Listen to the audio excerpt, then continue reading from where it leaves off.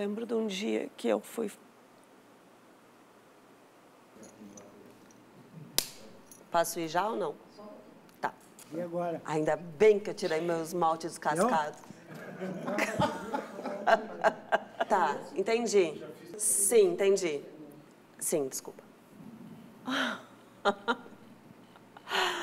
Como diria isso assim? Eu me dei alta. Não precisa... Acabei o cabelo aí, que eu sou bagunçada, nem me olhei no espelho. Faces, com a atriz Fernanda Carvalho Leite. Faces, sexta, nove da noite.